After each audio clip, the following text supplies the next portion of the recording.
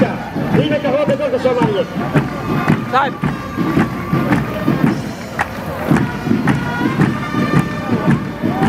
waa saas lahayntiis abaar waayo idinkaa waynu sugaynaa noolaada guulaystayaal boqolaal shacab ah oo buux dhaafiyey conis stadium dhoolatuska geesiyaasha dalka. Diyaargarowga shaqaalaha wasaaradaha dowladda oo aan soo kala harin iyo kaalinta bahda fanka ayaa bedelay jawiga garoonka oo ay goobjoog ka ahaayeen madaxweynaha dalka mudane maxamed cabdulaahi farmaajo iyo mas'uuliyiin kale oo ka socday golayaasha dowladda. Waa munaasabad lagu weyneynayay kowda luulyo madax bannaanidii gobollada koonfureed ee dalka iyo israacii koonfur iyo waqooyi taasoo ay soo xaadireen bulshada qaybaheeda kala duwan. Madaxweyne farmaajo oo halkaasi kula hadlay dadweynaha ayaa sheegay in ilaalinta sharafta iyo dhulka soomaaliyeed ay tahay waajib saaran qof waliba oo muwaadina. Waddaniyaddu macnaheedu waxay tahay inaad ilaaliso sharafka dalkaaga sharafka dadkaaga inaad ilaaliso oo ay ku dhibto wax kasta oo foolxumo ah oo qof soomaali ah laga sheegayo. Qof kasta waxaa waajib ku ah oo soomaali inuu u shaqeeyo inuu u shaqeeyo sharafka ummaddiisa inuu u shaqeeyo. Qof walba oo soomaaliya waxaa waajib ku ah inuu u dhinto difaaca dalkiisa uusan oggolaanin hadday tahay bad iyo hadday tahay berri inuusan cadow u oggolaanin cid kastana u oggolaanin hadday noqoto hal mitir hadday noqoto.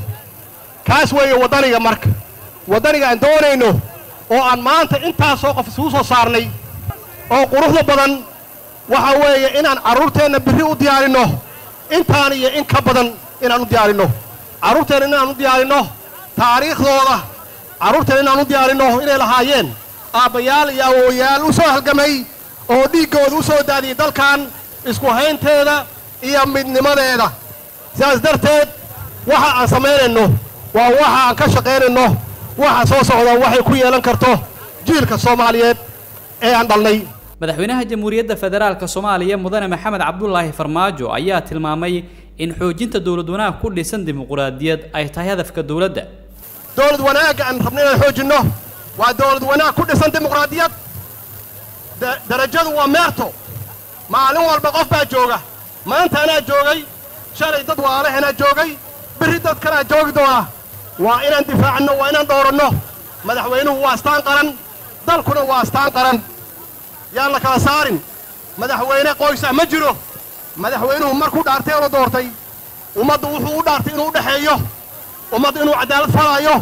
Inuu ka fogaanayo wax kasta oo ummadda kala qaybiya. Madaxweynihiinnu waa kaas. Dowladdiinnuna waa taas. Dowlad ha ka raadinin qabiil dowlad ha ka raadinin qabyaalad. Dowlad ha ka raadinin kala qaybsanaan dowlad waa tan midaysa ummaddeeda. Waa dan ummaddeeda isu keenta. Waa dowladd tan difaacda dadkeeda weeye.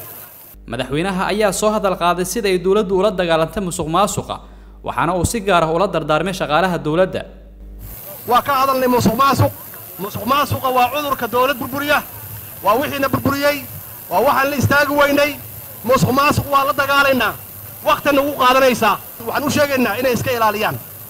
Inay iska ilaaliyaan intaynan ceebeenin inay iska ilaaliyaan intaan la xirin. Musuq maasuq waa wax foolxun waa wax aadan lahayn oo aad qaadatay waa waxaad ka qaadatay qof walaalkaa ah oo uu qaadan lahaa.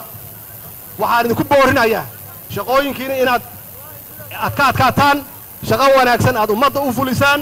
Dhinaca kale aruuridii hore madaxweynaha jamhuuriyadda federaalka soomaaliya mudane maxamed cabdulaahi farmaajo ayaa ubax dhigay taallada daljirka daahsoon ubaxaas oo lagu muujinayay abaalka dadka soomaaliyeed ay u hayaan cid waliba oo door ku lahayd midnimada iyo madax bannaanida dalkeenna muxyidiin macalin cabdulle warbaahinta qaranka conis stadium